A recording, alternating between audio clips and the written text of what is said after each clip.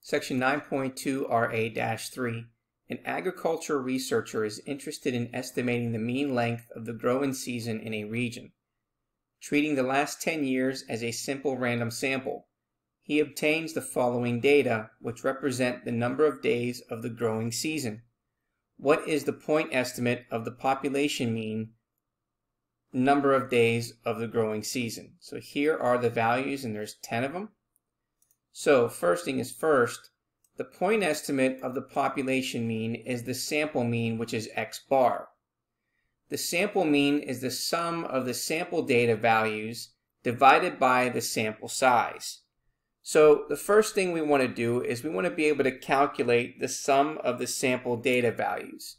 And so the sum of the sample data values is represented by the summation symbol and so what we're going to do is we're going to add up all these numbers. So we have 161 plus 156 plus 145, 138 plus 175 plus 190 plus 197 plus 181 plus 160 plus 157. Okay, so when we add them all up, we get a value of 1,660. Okay, and now what we want to do is we want to identify the sample size.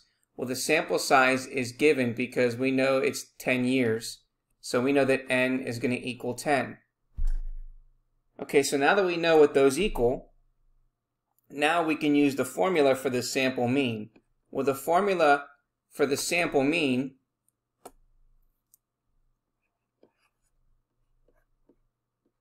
is the summation of the values of x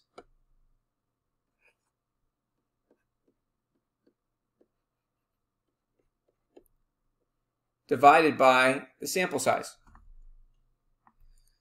So we have x bar, which is equal to 1,660, and we're going to divide that by n, which is 10. And so we get x bar to equal 166. And so therefore we can say that the sample mean is 166 and the point estimate of the population mean is 166.